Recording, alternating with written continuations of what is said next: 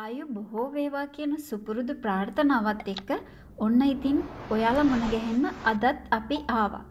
තාමත් ඔයා අපේ channel එකත් එක්ක එකතු වෙලා නැත්නම් පාසටහන් අපේ YouTube නාලිකාව subscribe කරලා bell icon එකත් සලකුණු කරන්න.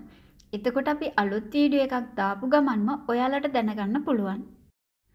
පාසටහන් අපේ YouTube නාලිකාවෙන් අපි අපේ සමාජයෙන් ඈත් වෙලා යන විවිධ ඇදහිලි ක්‍රම හා විශ්වාස ගැන කතා කරනවනේ. ඉතින් අදත් අපි කතා කරන්න සූදානම් වෙන්නේ ඒ වගේ ඇදහිල්ලක් ගැන. ඒ වගේම තමයි මේ ගැනත් කියන්නම ඕන. මේ දේවල් පිළිගැනීම වගේම බැහැර කිරීමත් ඔබ සතු කාරණාවක්. අපි කරන්නේ ඔබට ඒ පිළිබඳව තොරතුරු ඉදිරිපත් කිරීමක් පමණමයි. මොකද අපෙන් ගිලිහෙන මෙවැනි දේවල් තුළ අපටම අනන්‍ය වූ හේතු කාරණ බොහෝමයක් පවතිනවා වගේම අපෙන් ගිලිහිලා යන අපේ උරුමයන් පිළිබඳව අනාගත පරම්පරාවට යම් තොරතුරක් උරුම කර දීමත් අපේ ප්‍රධාන අරමුණක් වෙන හින්දා. මේක නිකන් බහිරවයා වගේනේ මෙතෙන්ටම වෙලා ඉන්නේ. ආයේ ඉතින් බහිරවයා ගිල්ල වගේම තමා. මේ වගේ කතා ගොඩාක් වෙලාවට ඔයාට අහන්න ලැබිලා තියෙන්න පුළුවන්. මොකද මේ වගේ බහිරව කතා අපේ ජන සමාජය තුළ බොහෝ සුලභ දේවල්. ඉතින් අද අපි කියන්න ලෑස්ති වෙන්නේ මෙන්න මේ බහිරව කතාව ගැන. හැබැයි හුදු බහිරව සංකල්පෙන් ඔබට ගිය සංකීර්ණ දේව ඇදහිල්ලක් ගැන. ඒ වගේම තමයි අපි මේ ගැන කියන්නේ අපේ රටේ තිබුණු වර්තමානයේ යම් තරමින් හෝ දකින්න පුළුවන් බහිරව දේව ඇදහිල්ල ගැන පමණමයි. ඒ වගේම ඔබ මෙම ඇදහිලි වලට යොමු කිරීමට නම් කොහොමත්ම නෙවෙයි. අපි මුලිනුත් සඳහන් කළා වගේම අපේ ජන විශ්වාසයන් හා අභිචාර විධි පිළිබඳ උනන්දුවක් දක්වන ඔබට අපේ ජන විශ්වාසයන් ගැන තොරතුරු ඉදිරිපත් කිරීම පමණමයි අපේ අරමුණ වෙන්නේ.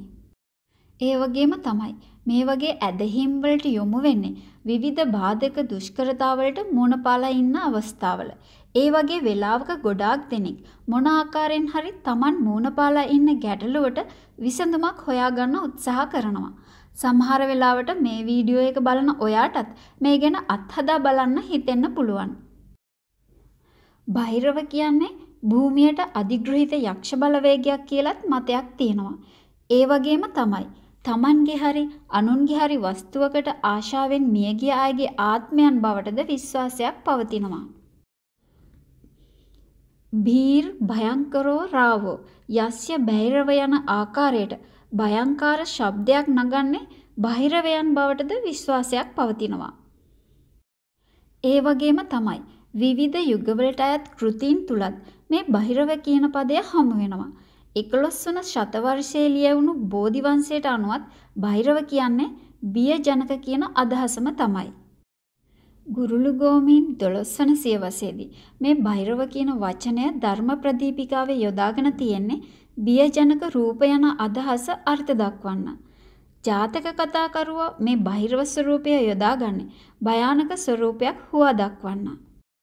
මේ බහිරව උත්පත්ති කතාවලට අනුව බැලුවොත් බහිරවයන් රාශියක් ඉන්නවා. මහා බහිරව, කාල බහිරව, නාග බහිරව, සංක බහිරව, පද්ම බහිරව, පාතාල බහිරව යනාදී වශයෙන් මේ කීප දෙනෙක් විතරයි. ඉතින් මේ බහිරව උපත ඉතිහාසය ගත්තොත් ඒක අපේ ලෝකෝත්පත්තිය දක්වාම දිව යනවා වගේම එය වැඩි වශයෙන් බැඳී තියෙන්නේ Hindu පුරාවෘත එක්ක.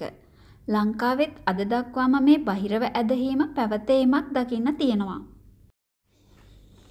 අපි ලංකාව ගත්තොත් වඩාත් ජනප්‍රිය බහිරව ඇදහිීම සිදුවන්නේ අභයගිරි චෛත්‍ය සීමාව කේන්ද්‍ර කරගෙන. එහි සංඝ හා පද්ම බහිරව වන්දනාව දිනපතාම පැවැත්වෙනවා වගේම වාර්ෂිකව උත්සවාකාරයෙන්ද පවත්වනවා. ඒ වගේම එම විශ්වාසය ගොඩනැගිලා තියෙන්නේ යම් යම් පුද්ගලයන්ගේ අත්දැකීම් මත වගේම මේ බහිරවයන්ගේ ඔද තෙද මත ගොඩනැගුණු දැඩි විශ්වාසය පදනම් ඇදහිල්ලක් විදිහට. දරුපල නොමැතිකම, සොර සතුරු උවදුරු, නිමා නොවන අසනීප ආදී විවිධ පීඩාවන්ගෙන් මිදීම සඳහා බොහෝ පිරිස් දිනපතාම මේ අභයගිරි භූමියේ ඇති බහිරව දේවාලවලට එනවා. ඒ වගේම තමයි මෙය අභයගිරිය ආරාමයේ ඇති උනේ කොහොමද? ඒ වගේම තවත් බොහෝ බහිරව ඇදහිම් තිබුණත් සංකපද්ම ඇදහිම විශිෂ්ට උනේ කොහොමද? එහෙම ප්‍රශ්නයක් එනවනේ මේක අහන බලන ඔයාලටත්. එහෙම නේද? ඉතින් ඒ ගැටලු වලට තියෙන පිළිතුරු අහගෙන ඉන්න අය පුදුම කරන ඉතා රසවත් කරුණු වෙනවා වගේම දැනට සංකපද්ම ඇදහිම කරන්නේ අභයගිරියේ පමණක් වීමද විශේෂත්වයක් වෙනවා. කාලිදාසයන්ගේ ඍතු සංහාරයට අනුව යක්ෂයන්ගේ ප්‍රධානියා වෙන්නේ කුවේර. ඉතින් මේ කුවේරගේ ආලගමන්දාවේ බහිරවයන් ඉන්නවා වගේම එම සභාවේ ප්‍රධානීන් දෙදෙනෙක් විදිහට තමයි මේ සංක පද්ම හඳුන්වන්නේ.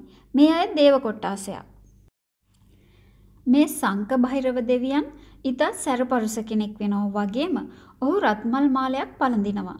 ඉතින් යම් කෙනෙකුට ඊට බරපතල අපරාධයක් අසාධාරණයක් වෙලා මේ සංක දෙවියන් ඉදිරියට ඇවිත් කනලව් කළොත් යුක්තියක් සාධාරණයක් ඉල්ලලා ඒ අපරාධ කළ අයට දැඩි දඬුවම් ලබා දෙනවා කියලා පිළිගැනීමක් තියෙනවා. ඒ ගැන ජනප්‍රවාදත් බොහෝ පවතිනවා. පද්ම බහිරව දෙවියන් සෞම්‍ය කෙනෙක්. ඔහු සුදුමල් මාලයක් කරපළඳිනවා. විභාග ජය, නඩුහබ ජය, අපල දුරු කර ගැනීම, ගොවිතැන් ඇරඹීම, සුව නොවන රෝග සුව කර ගැනීම ආදී ප්‍රාර්ථනා ඇතිව පද්ම බහිරව දෙවියන් යැදීම සිදු කරනවා. සමත මණ්ඩලවල විසඳන ගැටලුවලදී දිවුරීම් සඳහා රජරට අවටින් බොහෝ විට පැමිණෙන්නේ මෙතැනට බව අබේගිරි මහාවිහාරයේ වත්මන් විහාරාධිකාරී ආචාර්ය පූජ්‍ය කල්ලංචියේ රතනසිරි හිමිපාණන් වහන්සේ පවසනවා. අධිකරණය විසින් දෙන දිවුරුම් නියෝග අනුව වැඩි වශයෙන් දිවුරීම සිදුවන ස්ථානයක් විදිහට තමයි අතීතයේ ඉඳලා මේ දක්වාම අභයගිරි සංකපද්ම බහිරව දේවාලය ප්‍රසිද්ධ වෙලා තියෙන්නේ. වලගම්බා රජු විසින් ඉදිකළ අභයගිරිය චෛත්‍ය මුලින්ම තැනීමට වැඩ ආරම්භ කරලා තියෙන්නේ දීඝපාෂාණ කියන ගල්තලාවේ. ඒත් ඒ කටයුත්තට සංකපද්ම බහිරවයන් ඉඩ නොදුන් බවට විශ්වාසයක් පවතිනවා. ඊට පස්සේ තමයි කන්නලව් කරලා දේව පූජාවක් තියලා වර්තමාන ස්ථානයේ චෛත්‍ය ඉදි කරලා තියෙන්නේ. ඉතින් දිව්රීම් පලිගැසීම් දෛනිකව මේ දේවාල භූමියේදී ඔබට දැක බලා ගන්න පුළුවන්. ඒ වගේම තමයි මෙහි සිදු කරන වත්පිළිවෙත් විදිහට මුරුතැන් පූජා, වරම් පූජා, කිරි ඉතිරවීම, වාර්ෂික බහිරව පූජා මංගල්‍ය ආදිය පෙන්වන්න පුළුවන්. ඉතින් ඔබත් අනුරාධපුර අටමස්ථානය වැඳ පුදා ගන්න කියොත් අනිවාර්යෙන්ම අබේගිරියටත් යනවනේ. එහි දකුණු ගෝපුරය නැත්තම් දකුණු දොරටුව තුල බහිරව රූප දෙකක් තියෙනවා. වම් පැත්තේ කුඩා දේවාලයේ පද්ම බහිරව දෙවියන් වැඩ සිටිනවා. දකුණින් සංක බහිරව දෙවියන් වැඩ සිටිනවා. සියලුම පූජා කර්ම වගේම කන්නලව් දීවරීම් සිද්ධ වෙන්නේ මෙතනම තමයි. 1987 අගෝස්තු 22 වෙනිදා ප්‍රථම වරට මෙතන රාජ්‍ය උත්සවයක් විදිහට මහා බහිරව පූජා උත්සවය පටන් අරගෙන අද දක්වාම සිද්ධ කරගෙන එනවා. ඉතින් ආයෙත් ඔබ අභයගිරි චෛත්‍ය වැඳ පුදා ගන්නට ගිය වෙලාවක එහි පිවිසුමේ තියෙන සංක පද්ම බහිරව දේවාල දැක බලා ගන්නත් අමතක කරන්න එපා. මේ වීඩියෝව ඔයාලට වටිනවා කියලා හිතෙනවා නම් ලයික් එකක් දාලා යාළුවන්ටත් බලන්න ෂෙයා කරන්න. ඒ වගේම තමයි ඔයාලගේ වටිනා අදහසත් කමෙන්ට් කරන්න අමතක කරන්න එපා. ආයෙමත් එහෙනම් අලුත් වීඩියෝවකින් නැවත හමු වෙන බලාපොරොත්තුවෙන් මං ගිහින් එන්නම්. ඔයාලා හැමෝටම සුබ දවසක්.